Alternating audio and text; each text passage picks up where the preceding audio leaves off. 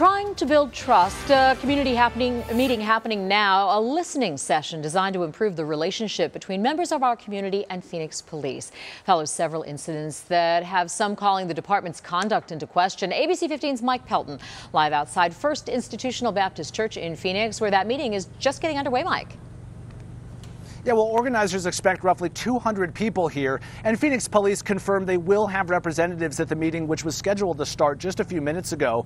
Now, tonight's meeting is put on by Pastor Warren Stewart Jr. He says in part it's in response to the viral video from earlier this summer of Phoenix police using obscene language and the way they treated a black family as part of a shoplifting investigation. Now, this meeting is also in response to the surge in officer involved shootings we saw last year with 44 in Phoenix. Now, back in June, the city held a well attended community meeting, and the city council has since moved forward with an early intervention system to use data to better track officer behavior. Now, Pastor Stewart says this is all about continued action rather than just talk.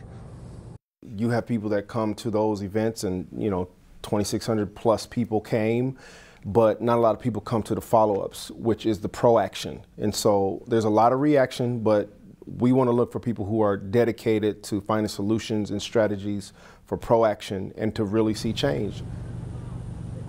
Now, we're told that Phoenix Police Chief Jeri Williams is expected to attend tonight's meeting, and the pastor hopes a lot of millennials from the community also attend tonight's meeting with the hope that they bring some fresh ideas. The meeting is expected to last until 8 o'clock. For now, we're live in Phoenix tonight. Mike Pelton, ABC 15, Arizona.